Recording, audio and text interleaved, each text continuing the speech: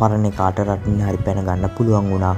මූට රටින්වත් පැන ගන්න බැරි වෙනවා යයි ප්‍රකට සමාජ ජාලා ක්‍රියාකාරී රතින්දු සේනාරත්න හෙවත් රැට්ටා පවසයි.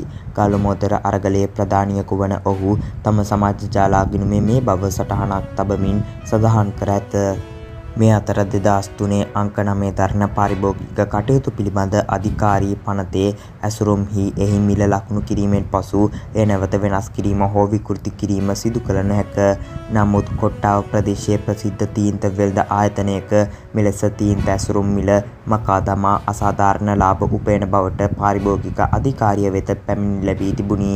ඒ අනුව ක්‍රියාත්මක වූ පාරිභෝගික අධිකාරිය කොළඹ දිස්ත්‍රික් වැටලීම් ඒකකය විසින් කොට්ටාව අදාළ වෙළඳ ආයතනය සම්බන්ධව වැටලීමක් සිදුකොට ඒ සම්බන්ධයෙන් නීත්‍යානුකූල කටයුතු සිදු කිරීමට සූදානම් වූ අවස්ථාවේදී වෙළඳ ආයතනයේ හිමිකරු විසින් නිලධාරීන්ට පරුෂ වචනයෙන් බැණ වැදී මරණීය තර්ජන සිදුකොට රාජකාරියට බාධා කිරීමක් සිදුකොට ඇති බව වාර්තා වේ.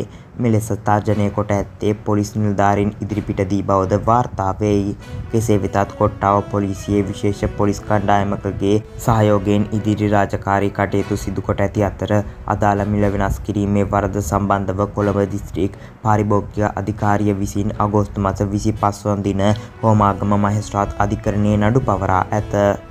එසේම නිලධාරීන්ගේ රාජකාරියට බාධා කිරීම හා මරණීය තර්ජන කිරීම සම්බන්ධව කොට්ටාව පොලිසිය මගින් විශේෂ පොලිස් විමර්ශනයක් පවත්වන බවද වාර්තා වෙයි.